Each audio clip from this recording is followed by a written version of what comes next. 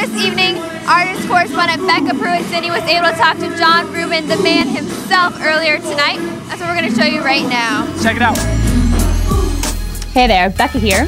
Now, I have a question for you. Have you guys heard of the MTV show Pimp My Ride? Well, if you have, you've probably heard rhymes from this guy next to me, Mr. John Reuben. Welcome, John. Hello. Thanks for being here. It's good being here.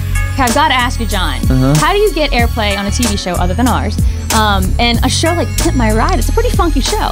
I have to say, you kind of fit into that format too. yeah, no, you know what? I, they were just really cool to play my music. I, I, uh, I don't know. I mean, they, they play a lot of different artists. and They played a lot of Gotee stuff, and so you know, just just kind of cool to hear my stuff on there. I, I've only seen the show once or twice, and I actually think it's a pretty good show. So it's kind of fun. Let's talk about your seating, professional right. rapper. Professional rapper. Let's Yes, talk about yes.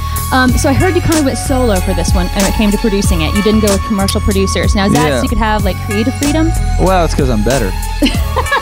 All right, let's be no. I'm just you know. I, I think I think um, I think it was just it was one of those things where I'm so hands on and I'm such I'm so meticulous when it comes to my records that just didn't make sense for me to not do it myself. I, you know, I learned a lot of great things from Todd, who produced the other two, and and so um, you know I totally have a high amount of respect for him. So, but it was it was cool to be able to just do it at home and kind of really tweak it the way I needed to tweak it.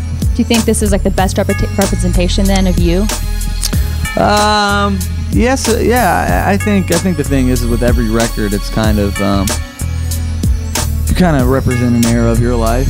Um, you know, I, I've already working on another record, so I would say no because I just finished this other record, and I think, well, that's a better representation now. But I think all the records that I've done have been a fairly, you know, it has been very much who I am. Nobody forced me to do anything I didn't want to do.